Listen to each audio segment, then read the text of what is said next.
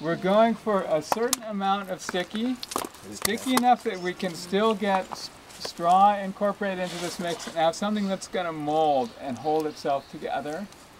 If it's got too much sand in it, it's not going to hold itself together, particularly once we get the straw in.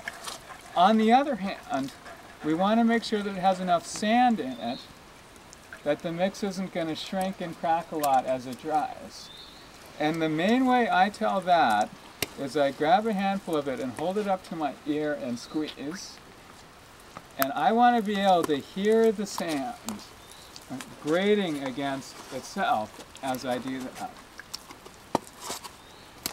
And so again, Kind of bubbly. I'm listening for sand grating. I'm I'm looking for a sticky enough mix trying put in my hair. that I think I can Yeah, add straw to it and still have it be I'm sticky it and workable, but really not any stickier than that.